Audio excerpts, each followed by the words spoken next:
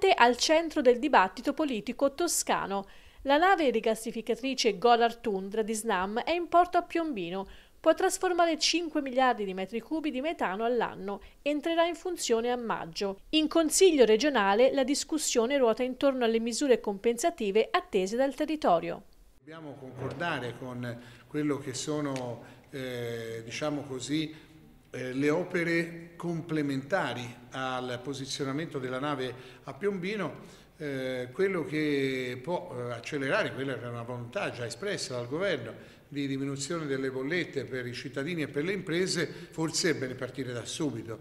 Quindi come la competenza è del governo, siccome comunque non è stata ancora predisposta l'intesa fra regione e governo su queste opere complementari, io direi di far andare avanti una corsia di accelerazione eh, da parte del, del, Consiglio regionale con una mozione che non può che essere un atto di indirizzo perché poi è il governo che stabilisce questa diminuzione. Però mi piacerebbe che da parte delle autorità di governo la previsione di un taglio delle bollette eh, che si riferisca ai cittadini e alle imprese del territorio possa essere prevista il prima possibile, anche prima dell'intesa su tutte le varie opere complementari, le bonifiche, le energie rinnovabili, il sostegno al parco del, della Val di Cornia, il sostegno a quello che è la realizzazione della strada che possa far andare direttamente al porto dalla strada statale 398. Io credo che l'atteggiamento che il Presidente della Giunta regionale ha avuto su questo tema sia sempre stato estremamente chiaro e coerente.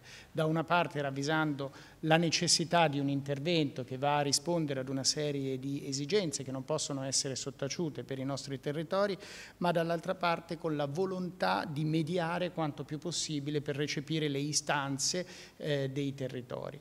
Quanto dichiarato dal Presidente della Giunta va in questa direzione, io sono convinto che anche grazie alla sua capacità di mediazione si potranno traguardare dei risultati importanti anche su questo tema. Quelle che Eugenio Gianni chiama compensazioni sono eh, delle misure che spetterebbero di diritto a questa porzione della costa che è stata bistrattata e penalizzata per tanti anni. Quindi, a distanza appunto di tutto questo tempo, sentir dire che quelle compensazioni sono qualcosa che viene dato in cambio dell'accettazione della nave rigassificatrice, per cui appunto un piano di sicurezza ancora noi non abbiamo potuto vedere, credo che sia molto grave e soprattutto sia ingannevole nei confronti delle persone. E questo non lo possiamo accettare accettare. L'ho sempre fatto e non cambio idea né in virtù dei governi nazionali né in virtù di quello che accade. Ho sempre sposato la posizione del sindaco Ferrari, continuo a sposarla. Il sindaco Ferrari è determinato ad andare avanti nella sua istanza, che non è la sua, ma è quella della, sua, della comunità che rappresenta, perché il sindaco Ferrari è alla testa di tutta una città intera che non ha capito e non ha sposato questo progetto, quindi io spero vivamente che il sindaco Ferrari ottenga un risultato e che mi, mi dispiace soltanto che il, il, pronunciamento del Tribunale arriverà se tutto va bene dopo che, la, che il rigassificatore sarà messo in funzione, quindi ci sarebbe una, un'accensione del rigassificatore e poi semmai uno spegnimento. Questa è una, è una stortura tutta italiana, ma spero vivamente che il sindaco Ferrari porti a casa il risultato.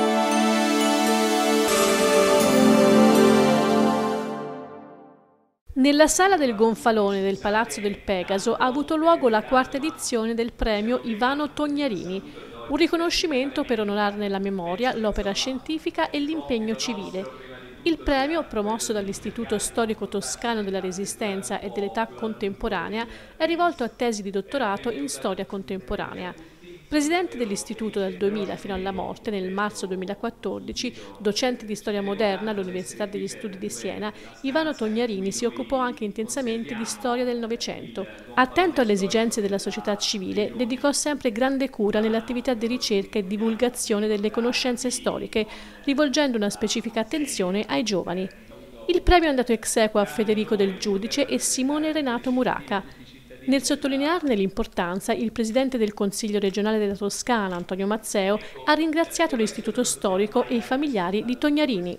La mia presenza oggi è un modo per dire grazie all'Istituto Storico della Resistenza, per dire grazie alla famiglia Tognarini per quello che ogni giorno viene portato avanti. La Toscana è una terra che non si è mai voltata dall'altra parte, è terra di diritti, è terra di accoglienza, è terra eh, che è sempre stata dalla parte giusta della, della storia. La Toscana è terra di formazione, è terra di ricerca. Le cose si tengono insieme in questo premio e io sono felice che anche il Consiglio regionale abbia fatto la propria parte. Federico Del Giudice, assegnista di ricerca alla Scuola Normale Superiore di Pisa, si è aggiudicato il riconoscimento per diritti altrove, lavoratori italiani e protezione sociale in Francia e Argentina tra le due guerre mondiali. La mia ricerca è fondamentalmente una comparazione tra Francia e Argentina che furono nel periodo tra le due guerre le principali destinazioni dell'emigrazione italiana. Ho studiato appunto questa emigrazione per vedere come i due paesi integrarono eh, gli, gli, gli stranieri all'interno dei sistemi di protezione sociale che stavano mettendo in campo in quegli anni. Quindi ho provato a vedere non solo quali furono le relazioni diplomatiche, l'intervento anche di forze sindacali eh, per il loro inserimento in questi sistemi di protezione sociale, ma anche come loro agirono per rivendicare dei diritti che ecco, si stavano facendo mano a mano in quel periodo. Simone Renato Muraca ha ricevuto il riconoscimento per istituzioni, pratiche e agenti della diplomazia culturale fascista in Spagna e Portogallo 1936-1945.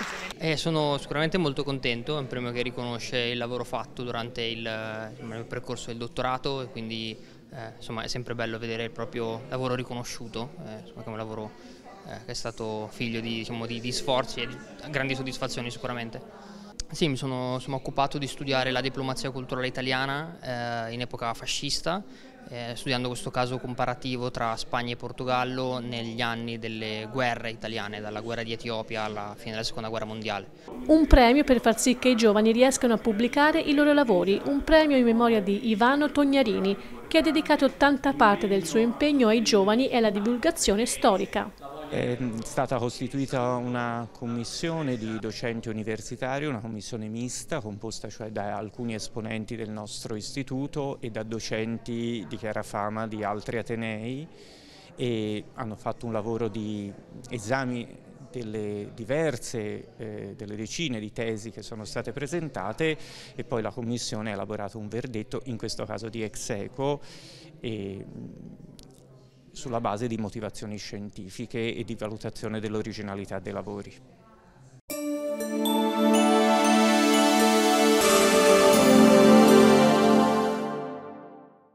Presentata la decima edizione della Tuscany Crossing, gara podistica che si svolge tra i suggestivi paesaggi della Val d'Orcia.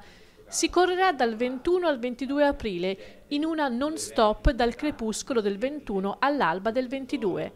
La manifestazione è divenuta parte integrante del territorio e si è evoluta, proponendo non solo una corsa per podisti specialisti di lunghi e impegnativi percorsi, ma anche tracciati accorciati e camminate per diverse tipologie di appassionati del genere un'iniziativa di rilievo per il Consiglio regionale. Sì, un'iniziativa che è importante per il Consiglio regionale della Toscana che abbiamo voluto sostenere, promuovere e valorizzare perché dentro un'iniziativa di carattere ludico ci sta un'iniziativa di carattere culturale, di relazione fra uomo e paesaggio e soprattutto la Val d'Orcia che torna a essere baricentrica in un contesto non soltanto regionale, nazionale e internazionale e a viaggiare, passeggiare, camminare, correre dentro i sentieri della Val d'Orcia denotano diciamo, una relazione fra uomo e natura straordinaria. Questo consente la scoperta del territorio, consente il rispetto del territorio e nello stesso tempo consente la valorizzazione del territorio. Quindi era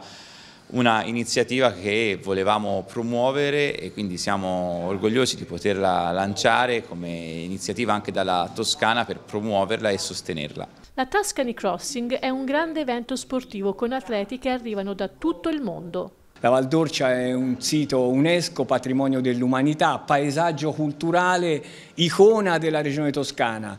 Tutti quelli che in questi anni sono venuti hanno, hanno lasciato e testimoniato un ricordo straordinario di questa esperienza che indubbiamente è faticosa però è così gratificante e piacevole correre in un territorio come quello, come quello della Val d'Orcia. La Val d'Orcia è uno dei sette siti patrimonio dell'umanità. Noi in questo periodo abbiamo davvero tantissime presenze turistiche e tutte le strutture eh, al completo. La gara praticamente è nata dieci anni fa eh, da un'idea diciamo, di un circuito americano che proponeva gare di 100 km nei parchi patrimonio UNESCO.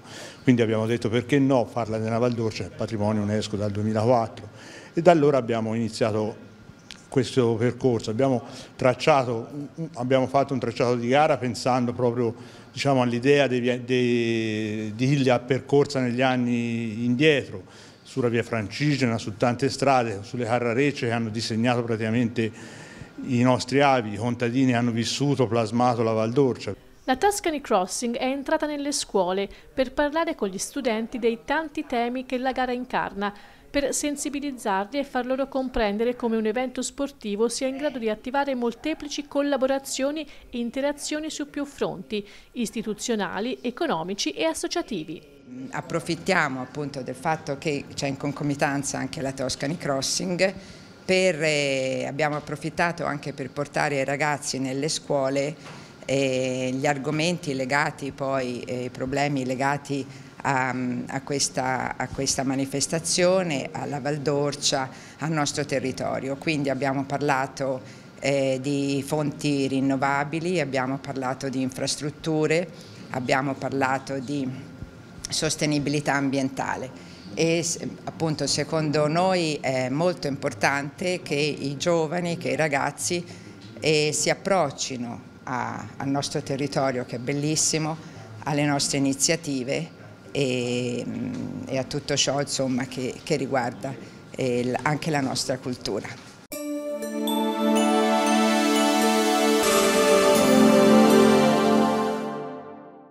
La società calcistica ASD Virtus Santa Maria a Monte ha raggiunto il traguardo dei 100 anni dalla fondazione.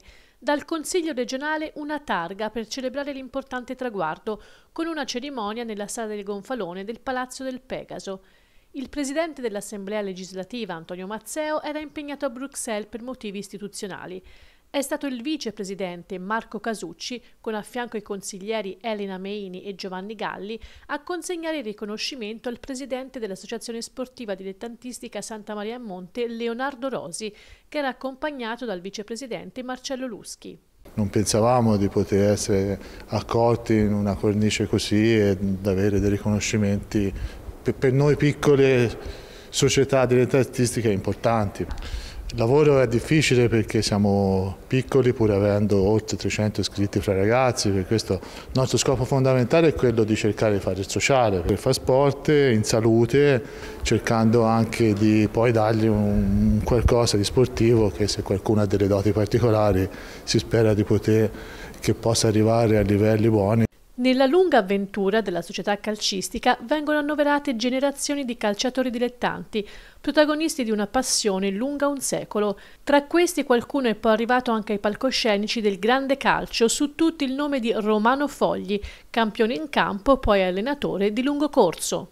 Quest'anno facciamo anche diversi festeggiamenti in onore suo. Romano da cui noi prendiamo spunto, dove la nostra scuola calcio è intitolata a lui, cerchiamo di essere leali, sportivi e di cuore buono, cioè, perché Romano è una persona molto disponibile, infatti è apprezzato e gli vogliono bene da tutte le parti. Lo sport cosiddetto, che poi in realtà non lo è, cosiddetto minore, è un aspetto determinante per la socializzazione, per far crescere bene i nostri ragazzi, per trasmettere dei valori importanti. È il messaggio che noi andiamo a dare ai giovani, tirarli fuori da casa, tirarli fuori dai computer, ma portarli a fare attività perché tutto questo poi dopo comporta anche eh, sicuramente una vita migliore, con delle regole migliori. E io dico sempre che gli istruttori sportivi in questo momento sono l'ultimo avamposto per l'educazione dei ragazzi.